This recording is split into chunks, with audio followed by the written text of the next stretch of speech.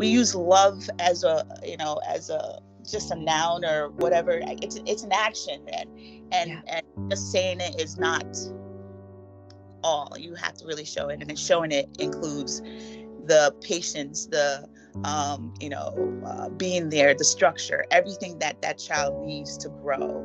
You know, um, you know, I think is what you know would make you know him more successful you know, than just saying, I love you. I mean, that's good to hear, but I think our kids hear it a lot. They hear from the parents that abuse them, you know, so, um, you know, I think they need to see it more than um, hear it so they can you know what it looks like.